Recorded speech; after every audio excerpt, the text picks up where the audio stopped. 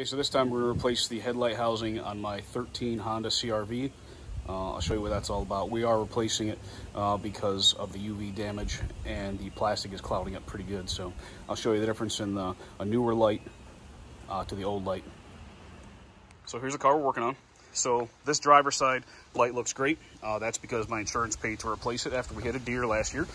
Um, unfortunately, since that light is new, and this original one on the passenger side is not new, I've got this real nasty, sort of hazy, uh, haziness starting at the top of the light here, and then it's sort of slowly creeping down. And some of it's because of UV damage, some of it's just debris, right? Because you see there's actually scratches, horizontal scratches on here too. So, you know, every little bit of dust and dirt that kicks up from the road, uh, salt uh, kicks up too, because uh, I live in upstate New York. So then you compare that to the new light, New light looks beautiful. Got it through uh, rockauto.com. So we'll replace this on this side so both lights match and make sure I get uh, a good beam pattern coming out of both. And uh, just by looking at this, I know that there's some type of fastener here. I have not taken this car apart yet in this area. There's also a fastener here on top. And there's a screw tab right there. That screw I can actually see right here. So that, that one's understandable. And so what I'm hoping to be able to do here, I should be able to release clips along this bumper cover and pull out and lower the bumper cover. And then that should give me access to whatever I need here. But before I do that, um, because of the way this light tucks in behind here, I am going to take off this center grill. And we're going to start by taking off these four push clips here and uh, see how far we can get that off. So I'll start with that.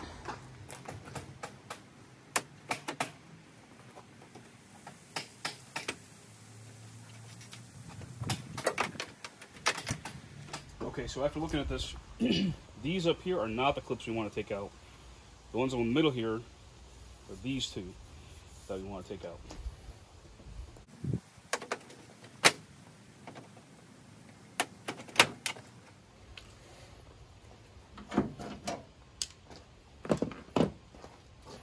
So that releases the top of that.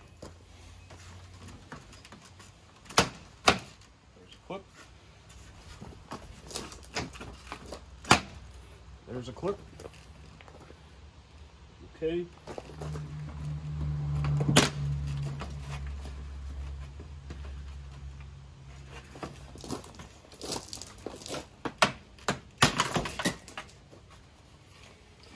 Go say. So what we learned here is there's actually two clips high. There's supposed to be four clips along the bottom here. I only have three. So I'm assuming the body shop that did the work just decided not to put the rest of these in there. So unfortunately, sometimes you get a body shop doing, acting that way, which kind of bugs me, but I won't go any further on that. Um, but that's how you remove that firm pull at the top two corners. Then you got four along the bottom. There's no clips in the middle.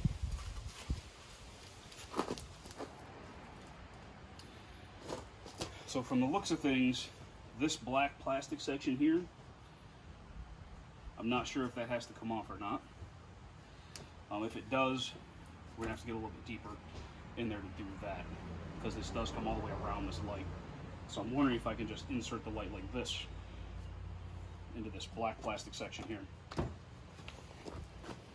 So over here, we'll get this rubber pulled up has a couple little rubber fingers that go into the plastic there. And we need to get in here because right underneath here is a fastener. Right behind the washer fluid, there is a push clip. Pull that out. And that should get most of this piece here loose. Let's see. This also tucks into the fender like that. Okay. Get it around the washer fluid get it up out of the way. So now we got a push clip right here that holds in that corner of the headlight. Get underneath the first part, pull it up, and uh, that's interesting because that clip is also wrecked. So that means that, well, so we'll just remove that clip. We'll come back, pull out this 10 mil right here that holds that side of the headlight that we looked at a minute ago. Because I can see this is already rusty, I'm gonna spray some PB Blaster. Not, not only on the bolt, but also on the, the threaded insert that's clicked onto that headlight housing. I'm gonna start nice and easy here. Okay, actually doesn't feel too bad. Sometimes on these older cars, obviously, you go to turn these things and they won't turn, or they'll just snap on the first try. So it's getting a little tougher to turn, so I'll hit it with a little more, a little more blaster. And then what I'll do to try and prevent any problems is I'll actually turn it back in a little bit. Okay. And uh, I think I just broke that actually. Nope, not yet. Turn it back in a little bit. That's gonna let the PB blaster soak those threads a little further. And see if I can't turn this out the rest of the way.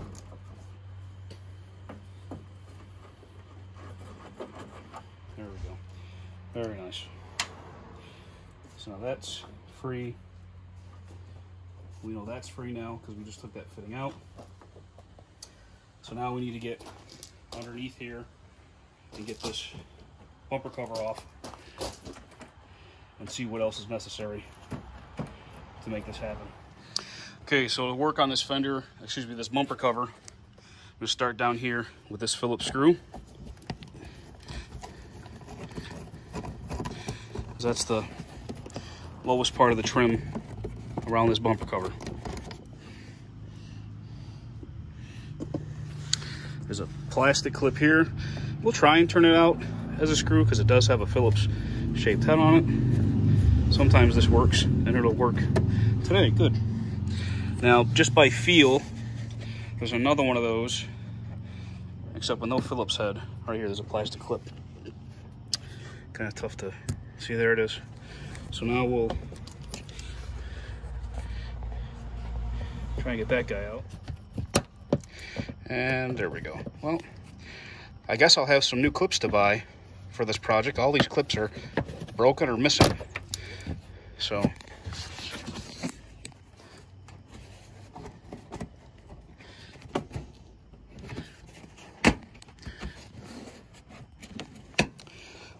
So now with that clip out, I got one more clip back here. Actually, that one's actually a Phillips screw. Right there. Take that out too.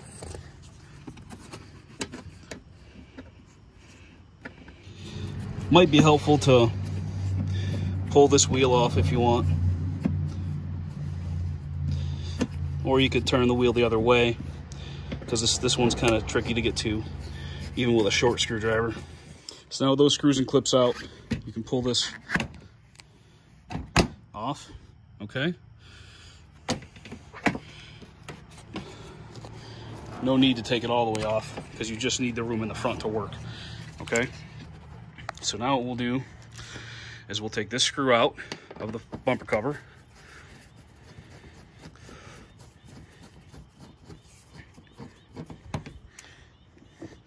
And we'll see if we can get this bumper cover to move for us at all now. Just like that. Excellent. so now we should have room to work to get this headlight out. So the next thing I'm gonna do is I'm gonna pull that bolt. That looks like a 10 mil. That looks like the same one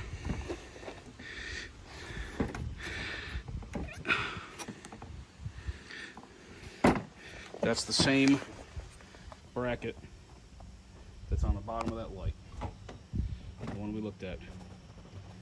That one right there. Okay, so that's how that's held in with that 10 mil bolt. So I'll get a ratchet, just pull that out real quick, and we'll see if I can maneuver that light out.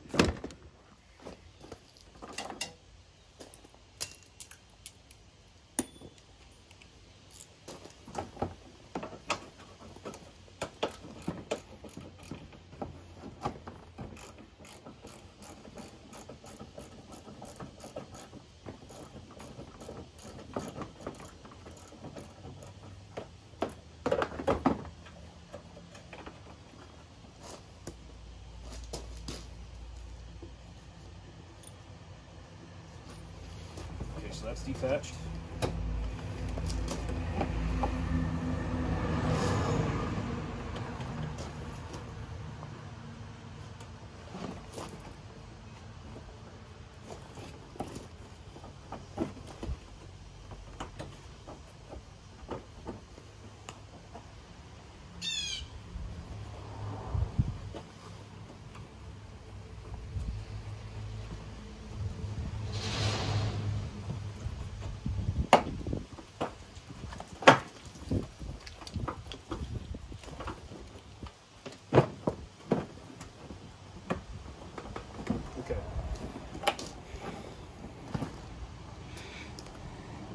So that bolt that we just took out goes through this bracket. This is a, an additional bracket in front of the headlight. This bracket comes all the way around to the right. And we're going to need to get more of this bumper cover removed and lowered to continue this. Uh, maybe not. So I'll show you what we're looking at.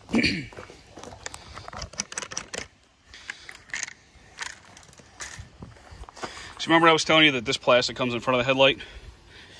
We're gonna have to remove this because this is the same plastic piece that goes down here and then follows the front of this headlight. And then we just unbolted from over here, okay?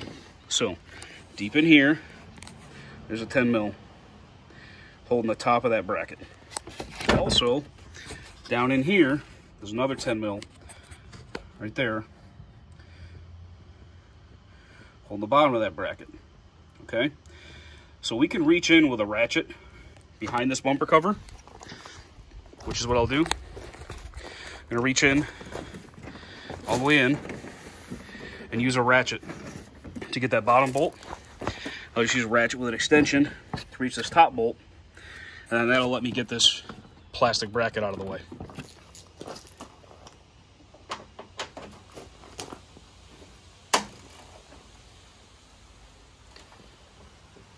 The bolt is not very long, so you want to try and get it with your fingers. Make sure we don't lose it, okay? That's what it looks like. The same kind of bolt we took out of the side here. So I'm just gonna drop it down there. It's the same size and length and everything.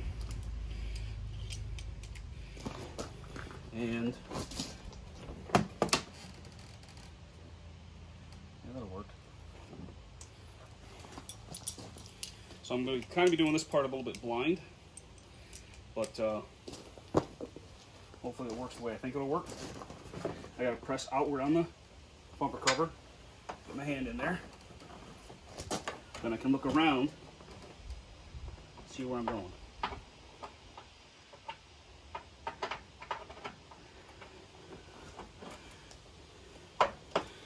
And I got it. Same thing though, it's a, it's a short bolt. So now I'm gonna try and finish loosening it with my fingers. Little too tight, so I'll use the socket. Yeah, that's working. And just keep good control of it as you go, because you don't want to drop it.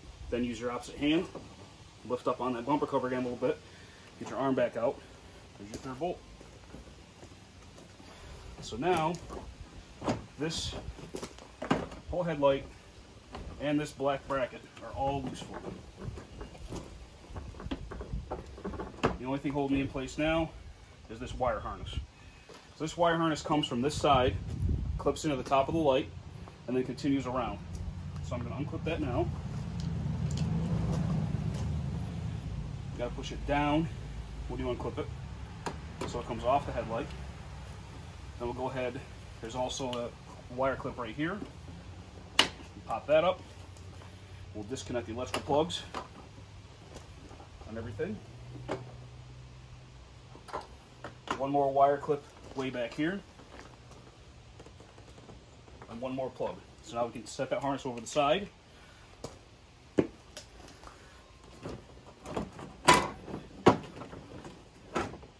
now I've got the whole assembly.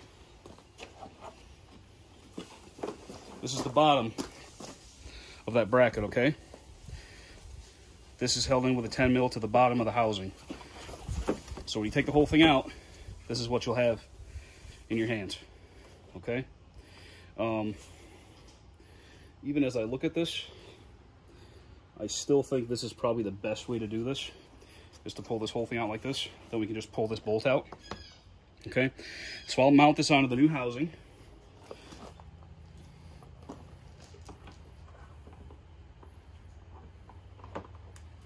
Everything engaged the same way it was.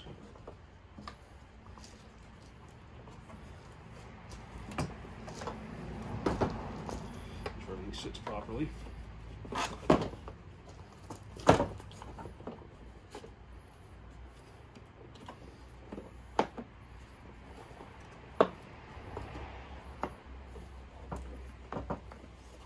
There is also a small little nipple right here on this side that you want to make sure engages. As we go here. Kind of a big fixture, so it's a little tricky to show you everything with just two hands here. Now on the outside, you want to make sure that this comes over on those little stubs, okay? Those little nubs there. And then we're ready to slide this back in.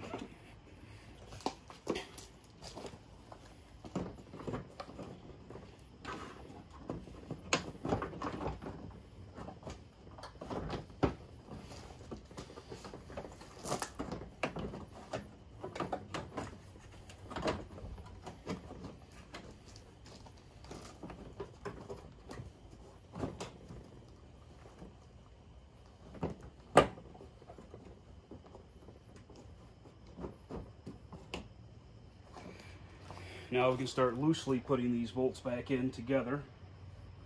Okay, make sure we get each one started. And then once each one is started, we can go back and snug them up because we know that we have them aligned well. So there's the one for this one.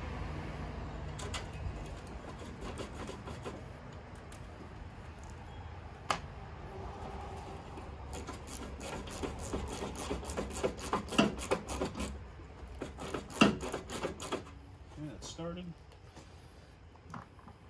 We'll get the one in the side over here that we took out before. And again, make sure that the piece lines up with all those little nubs that are there. We're just going to start this. Make sure we get her lined up. Because we still have the lower one in the middle over there to get set up. Okay, so that's lined up. It's not tight yet, it's just started. So now we'll do is we'll go back again with just the socket and the screw and feel our way underneath to that lower one like we did before.